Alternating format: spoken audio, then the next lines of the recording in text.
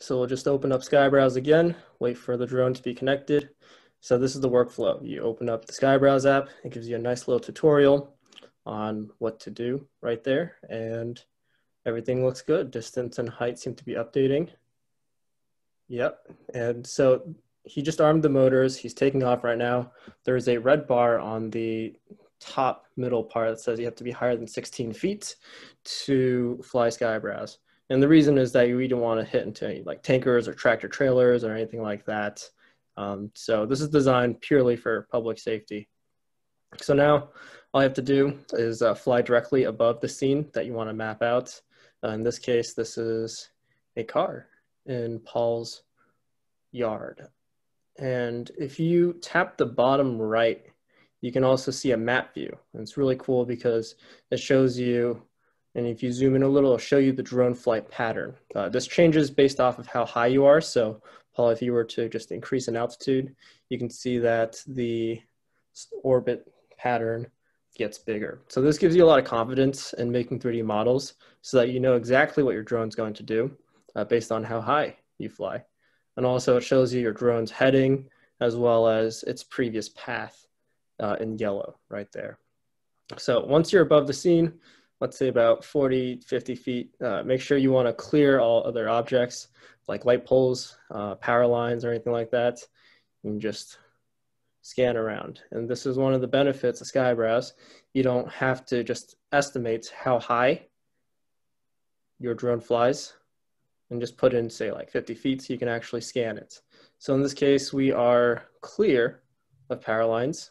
On the top right, you also have a blue button if you tap it, it goes immediately downwards. It pitches the gimbal down to negative nine degrees.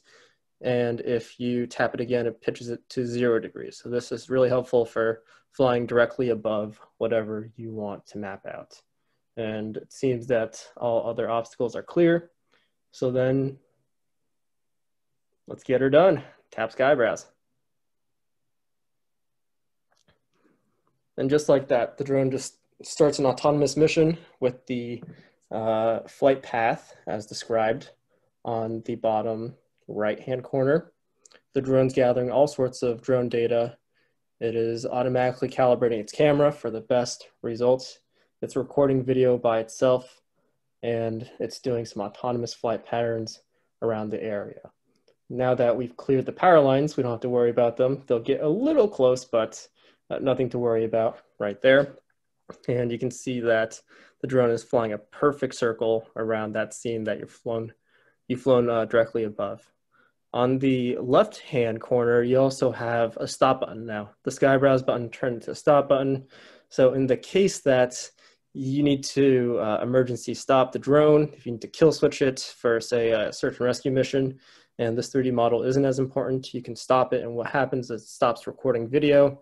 It freezes the drone at its current location and you have full control over the drone again. So everything's designed for peace of mind when you're making a 3D model. When the drone's flying by itself, you only have two buttons. Um, the record video button on the right hand side is actually purely cosmetic. We designed it so you don't accidentally click on record video.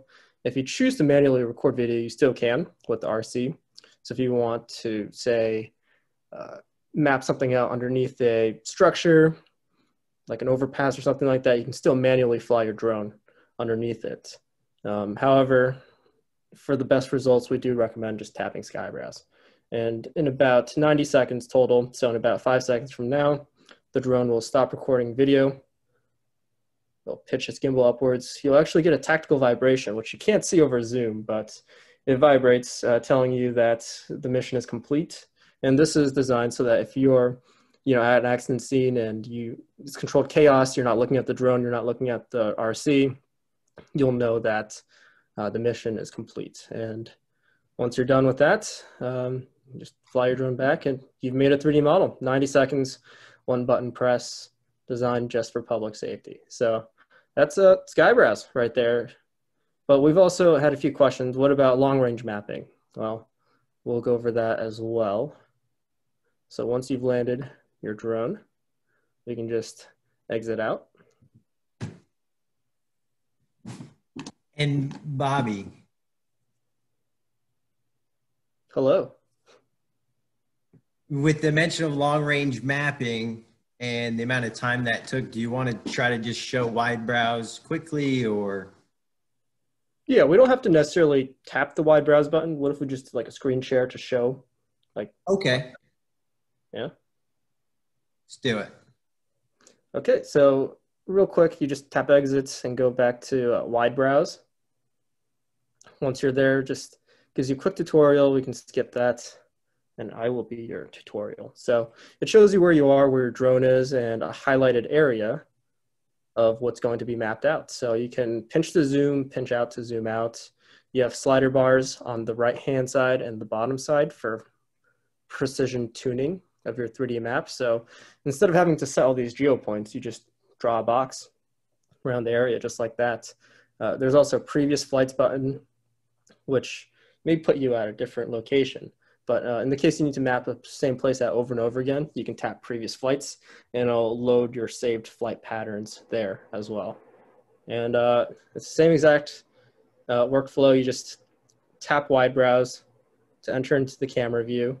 Fly your drone directly above the area. No need to uh, right now. But um, once you've flown, in this case, above 100 feet, you tap wide browse. It'll fly the mission, and that's about it. Uh, we also have side scan, uh, on the top left by toggling that on. This is more for like tall buildings and like skyscrapers. It'll capture the sides of the buildings as well.